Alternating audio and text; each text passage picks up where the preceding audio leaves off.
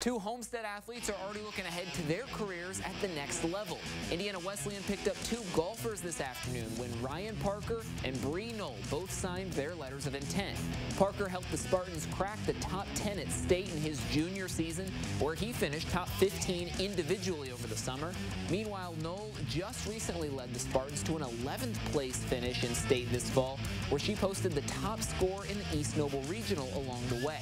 The athletes say they're both excited to be a part of this Indiana Wesleyan team next season. It's not too far from home. And actually, Ryan's sister, Riley, just recently wrapped up her own athletic career there this past spring. I had visited the campus a couple times, met the coach and the team, and I'd been thinking about it a lot, and I just loved the campus, loved the atmosphere of the team, and decided that's where I wanted to be. And the more I discovered about Indiana Wesleyan, the more I thought it was going to be a great fit, and I fell in love. So that's uh, that was that, and now I'm going there.